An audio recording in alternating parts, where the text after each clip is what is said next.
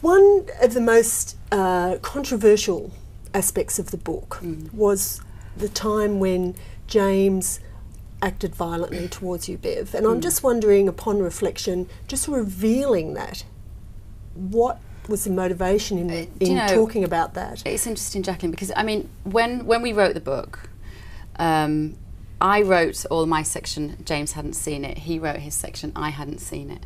We, didn't, want to censor each we other. didn't want to censor what the other one was going to write, and we didn't want to edit each other. And we read it at the proof stage; it was almost going to print. And I said to James, "If you want to change anything, you can.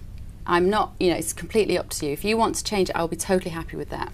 And that was the incident that I had in mind. I thought he's not really going to, you know, that's it's a big man that can have that out in the public domain to be judged in that way.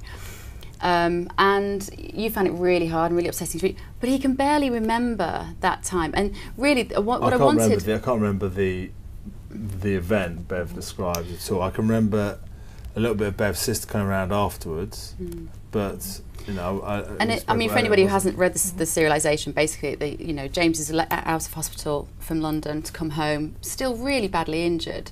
And actually, what the story illustrates is how badly we look after people in this country who have brain injury. That's kind of the whole point of the anecdote, in that we don't support families with brain injured members. Um, you know, there is nowhere for them to go. They are sent home a different person. And that was absolutely in the acute stage after, you know, it's two, less than two months after the And I accident. So this is two years ago now, th- this incident. Um, people, many people have met, you don't meet many people with a brain injury, and, and Headway, the Brain Injury Association, who I work really closely with, and you know, I'm, I'm the vice president of the of the association. It it helps link people together, and and, Mm. and for them and their family to understand what they've gone through, and to meet other people who've gone through the same thing. And Mm-hmm. and Bev's right, it, it was very difficult. You know, Bev's not a neurologist. No, I mean, no, I'm not a neurologist, you're right. You think you are? well, but how do you get the trust back in your relationship when something like that happens? Because I, ha- because I knew that it was not James. And that's, you know, the, the denouement of that particular anecdote is that my si- I rang my sister and James got angry with me and I was angry with him and it was just a horrible, we we're in a kind of cauldron of stress and anxiety and I was pregnant and um, and I rang my sister. I kind of got away from him. I rang my sister in the bathroom and just said, "You've got to come round." And she just ran barefoot round the corner and just came in and came through the door and just took James in her arms and just hugged him and just said, "It's not you, James. It's not you. It's okay. It's not you. It's not you."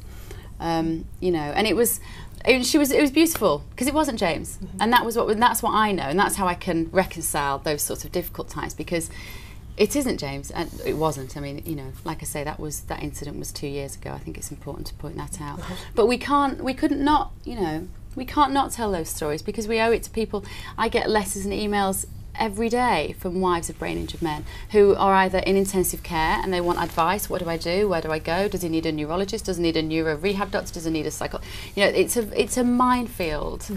To look after a loved one who's had a brain injury. So anything that we can do to help, that's that was that's why we've written the book. Mm-hmm. Bottom line.